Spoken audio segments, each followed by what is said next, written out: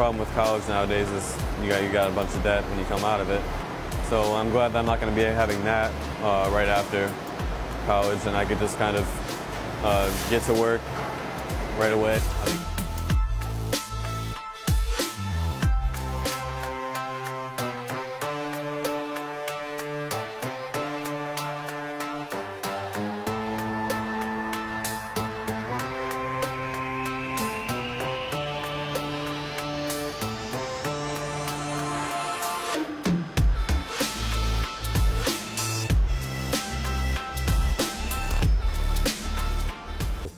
Without a program like this, you know, someone we could hire someone externally and they could leave in two years.